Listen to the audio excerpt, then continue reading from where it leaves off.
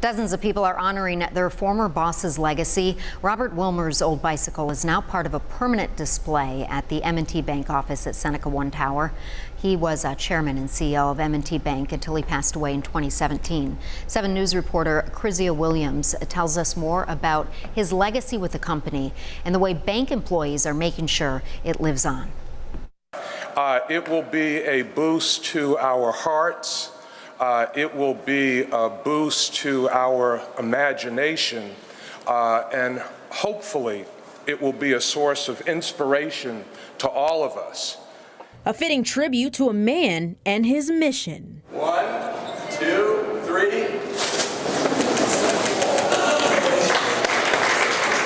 M&T Bank unveiling a memorial Thursday to its late chairman and CEO Robert Wilmers, which now resides at Seneca One. Cared deeply about people and wanted to help lift uh, the people of this community and the people of all of the communities where M&T Bank served.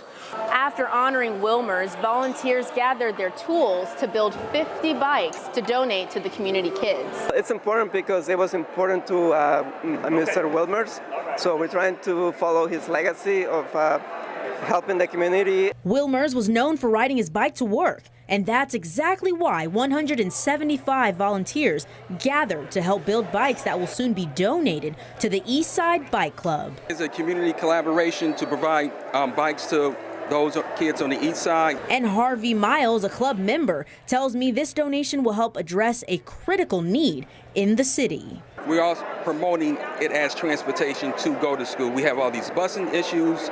Um, helping with part of the problem with getting kids to school with using bikes as a part of the solution. Chrysia Williams, 7 News, Buffalo.